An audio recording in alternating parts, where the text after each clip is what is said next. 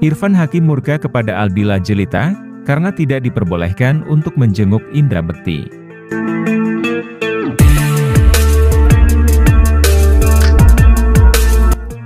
Diketahui, Indra Bekti dan Irfan Hakim adalah kedua sahabat dekat, keduanya bersahabat sejak masih sama-sama merintis karir di infotainment. Irfan Hakim yang mengetahui jika Indra Bekti mengalami pendarahan otak sontak kaget, Lantaran dua hari sebelum suami Aldila Jelita itu masuk rumah sakit, Irfan sempat menemui Bekti karena pada saat itu mereka berdua sama-sama mengisi acara di stasiun televisi yang sama. Apalagi kabar di media sosial begitu sangat memprihatinkan. Irfan Hakim menangis ketika diwawancarai oleh awak media mengenai kondisi sahabatnya itu. Saya sangat sedih dengan apa yang terjadi kepada Bekti, dia sudah saya anggap sebagai saudara saya sendiri, dulu kita sama-sama merintis karir dari nol, dan sekarang kondisinya terbaring seperti itu. Papar Irfan Hakim Dan ada satu hal lagi yang sangat membuat Irfan sedih, dirinya tidak diperbolehkan menjenguk sahabatnya itu. Namun sebelum lanjut ke pembahasan, alangkah baiknya jika kalian terlebih dahulu menekan tombol like, subscribe, dan jangan lupa nyalakan lonceng notifikasinya supaya Anda tidak ketinggalan info-info menarik dari channel ini. Terima kasih.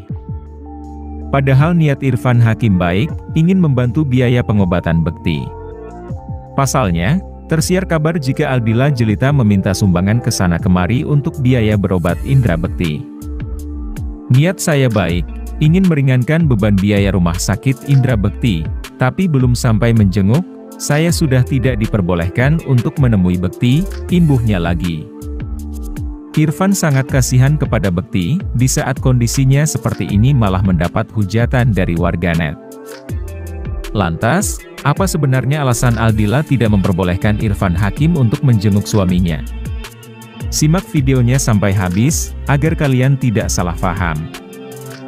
Di sisi lain, Aldila Jelita diserbu oleh wartawan, dan mendapatkan pertanyaan yang membuat Dila kaget.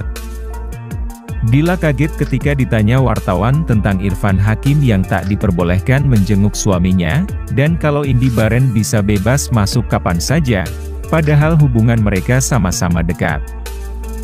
Lantas Dila menjelaskan, jika Indi Baren bisa masuk dengan leluasa ketika keadaan Bekti sudah sadar pasca operasi, dan kenapa Irfan Hakim tak diperbolehkan menjenguk Bekti lantaran saat ini memang dilarang berinteraksi terlebih dahulu dengan banyak orang, supaya kondisinya cepat pulih. Itu memang anjuran dari dokter. Semoga Irfan Hakim lekas sembuh dari penyakitnya, dan supaya dia bisa menghibur masyarakat Indonesia lagi. Amin. Sekian info yang dapat kami sampaikan, terima kasih sudah menonton, dan jangan lupa tinggalkan komentar positif kalian di bawah.